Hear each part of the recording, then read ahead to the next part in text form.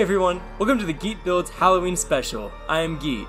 In this time lapse, I'm going to be making the vampire castle you just saw, and then a dark gothic village to match it. I've spent the last month working on this map, first looking for concept art for spooky castles, finding the perfect tree schematics and creating the map in World Painter, and then building everything over the span of more than 60 hours. The area of the whole map is 4 million blocks. There's a ring of mountains going around the edge, streams and rivers throughout the map, and a huge cliff that the castle is built on, overlooking a swamp with dead trees and gnarled willows. So the castle itself is split into two parts.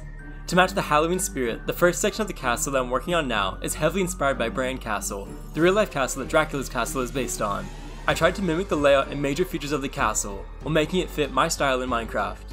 As usual, I started with different colored walls, which makes it easy to make out the layout of the castle first, quickly adjust anything that doesn't look quite right, and once I'm happy with how the bare bones of the castle look, I can quickly transform it into a mix of blocks to give the walls more texture. Mostly, that's different dead brain coral blocks, but the layout in this part of the castle is really cramped, so to prevent everything from running together, I make a few of the buildings a granite and bricks texture. I like the dead brain coral blocks a lot for this build, since they have a darker tan brown color from afar, opposed to the grey color of stone bricks and cobblestone. To make the castle a bit spookier, I try to add spikes to the roof wherever possible, made of walls, fences, and iron bars, and create spires rising from the peaks of buildings using lodestones and cobblestone stairs and slabs. I went with different brown blocks for the roofs of the grey buildings, and black blocks for the roofs of the granite buildings to give the castle a dark, heavy feel. The most recognizable part of Castle Bran is the tall main tower that soars above the rest of the castle, I do my best to recreate its shape as accurately as I can, but definitely embellish the tower with larger windows and arches that aren't in the real castle. To liven up the castle, I'll go back through and add red and black plants and bushes, since it felt right that vampires would choose the creepiest flowers to landscape with. I use invisible barrier blocks to make some fountains, and then add a few stairways leading into the crypts in the ground. Once that's done, I hang lanterns from chains for light and make the ground chiseled nether bricks and blackstone.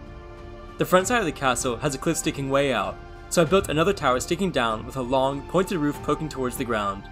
With that, the Bran Castle part of the build was done, so I got to work connecting it to the main cliff that the rest of the castle would be built on.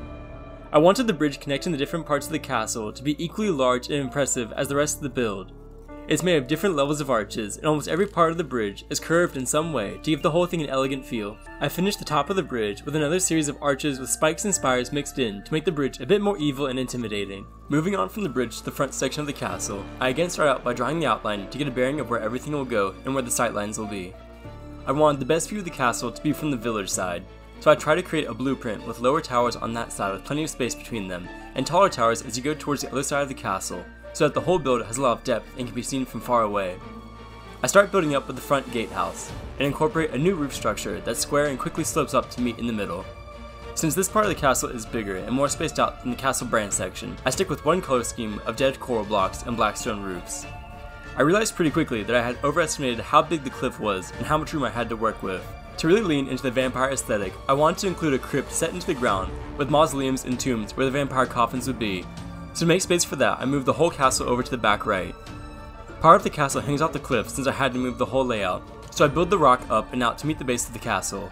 I then build the walls of the castle up 20 blocks or so to get a sense of the shape and size of the build. I designed this part of the castle to have lots of wide, open section of wall that I could add cleaner details to. I usually like to over detail my builds a little bit, but it can make a build feel noisy or too busy when too much detailing gets done. So to avoid that in this build, I focus more on using depth to create strong, orderly lines through the use of stairs, slabs, and wall blocks. When seen up close, the build still has detail, but doesn't become a jumbled mess when seen from afar. I also tried to have most of the lines going up instead of side to side, which makes everything feel taller and more vertical. I was already pretty close to max height with the cliff, so making the castle feel taller than it actually is was important for the scale to feel correct. A short, stubby gothic castle just really wouldn't look right, especially since this part of the castle needed to be noticeably bigger than the Castle Bran section. To give the whole thing more depth, I used a lot of variation in tower height, which also keeps the castle from looking too uniform.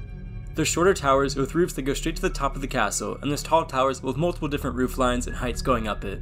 Over on the backside of the castle, there's a lot of ground that didn't get covered within the walls of the build, so I eventually make those areas balconies with supports running through the air down to the cliff below it. I decided that I liked the dark red and black color scheme of the floor that I used on Castle Bran, so anything that should be walked on I changed to those blocks, which helps make the castle feel dark and brooding. To mix things up a bit and add a little bit of a weird fantasy element to the castle, I designed the main tower at the back to be made of red stained glass, supported by an outer network of walls and braces running up to the upper section of the tower. At the top, I make an extremely sloped roof that goes to the max build height, surrounded by four smaller towers around the edge. All in all, the side of the castle is way taller than the front side, so I tried to give the towers wider bases to keep everything feeling real, and to prevent these weirdly tall towers from shooting from the ground directly into the sky. Finally, I add a few more bridges soaring through the air from tower to tower, since it's always something I think is cool in a castle build. Going back to the front gatehouse, I decide that an open gate will look cooler than the door, so I go ahead and make that change. The first thing I do to make the crypts is dig out a long hole in the ground, and then design the first mausoleum. I copy and paste it a few times around the edge, add a few doors leading into hollowed out sections in the ground, and change the floor to that nether brick and blackstone texture. For decoration, I add more flower boxes and gardens filled with roses and other red bushes and plants, and complete the inside of all the tombs with open coffin designs. In the caves in the cliff beneath the castle, I add weeping vines for a spooky, creepy feel, and then add a little garden design out in front of the castle. The last thing I do with the castle is add slabs down the whole road leading to the rest of the map to make it way easier to walk up. And with that, the vampire castle part of this build was done. All the spikes and spires pointing out of the roof really give it that dark, gothic feel, and the castle feels so tall and intimidating that it really dominates the landscape all around it. It looks even scarier at night with shaders on, but we'll get to that later. The next part of the Halloween map was building the nearby village that the vampires would prey upon.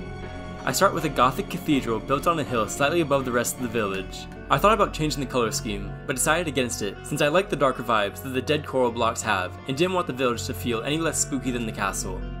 I give the cathedral a lot of windows and buttresses, and then create a graveyard in front, with dozens of graves surrounding a central open mausoleum.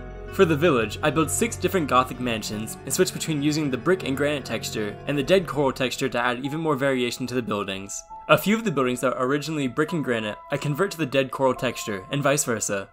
So even though there's only 6 different mansion blueprints, it feels like there's an additional 3 or 4 unique buildings around the village. I place the mansions first, then go back through after to build paths and fields of crops and pumpkin patches around them. Then add fenced in front courtyards with overgrown gardens and fountains in front of each house, and place even more of the huge spruce tree schematics around the village to blend the town into the forest surrounding it. I built a few small, arched bridges connecting the paths over the river and continued landscaping the village. When you're walking the paths of the village, I wanted you to always know that you're in the town, but still feel at any moment a werewolf or a vampire could lunge out to get you. So I made sure there was plenty of space between the buildings, then added mossy cobblestone walls at random alongside the road to slightly obscure your view into the forest, and then packed as many trees as I could between the buildings to make it feel like you really never left the hidden unknowns of the forest. I place lampposts along the road, but leave enough space between them that there's always a bit of darkness you have to pass through when getting from one lamp to the next. With the mansions and cathedral built, the trees and pumpkin patches added, and all the lampposts placed, the spooky gothic village was also completed. So if you made it this far into the video, make sure to leave a like to let YouTube know that other people should see this video too. And if you're not subscribed already, make sure to do so, and turn on notifications so that YouTube will actually let you know when I post. I'm really happy with how the map turned out, and I think it looks really good during the day, but the map really shines at night. So for the next few minutes, I'm going to go on a spooky nighttime tour from the cathedral, make my way through the village, walk along the forest road, and finally explore the gothic castle to find Dracula's personal keep.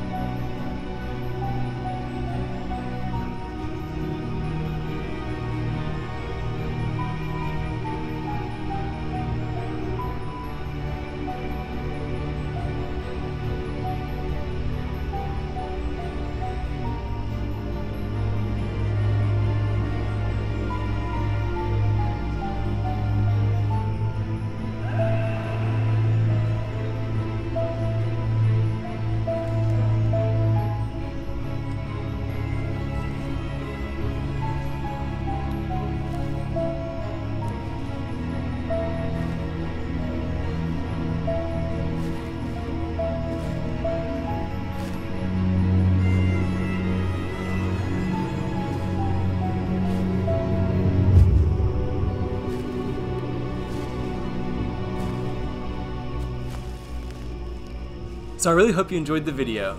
As always, the map is up for download on Planet Minecraft, and a link to that is in the description below. Let me know if you explore around it yourself. And if you like these holiday themed maps, leave a comment and I'll try and do more like this in the future. I hope you have an extra spooky Halloween, and I'll see you next time. Peace.